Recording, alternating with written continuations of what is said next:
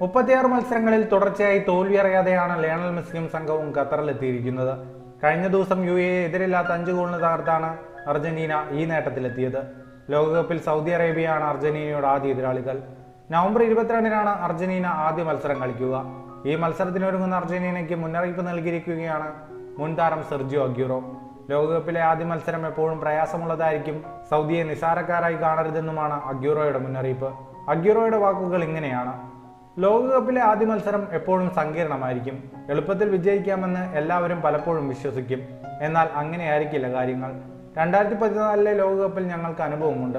Group ഘട്ടം വളരെ എളുപ്പമാകുമെന്നായിരുന്നു എല്ലാവരും കരുതിയിരുന്നത്. പക്ഷേ അന്ന് ഇറാനെതിരെ ഞങ്ങൾ പൊരുതിയാണ് വിജയിച്ചത്.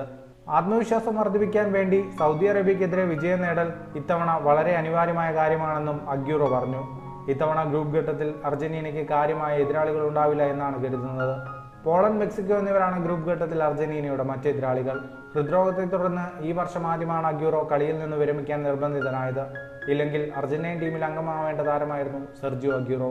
ഫുട്ബോൾ ലോകത്തെ കൂടുതൽ വാർത്തകൾക്കും വിശേഷങ്ങൾക്കുമായി സ്പോർട്സ് കഫേ അപ്പോൾ തന്നെ സബ്സ്ക്രൈബ് ചെയ്യുക.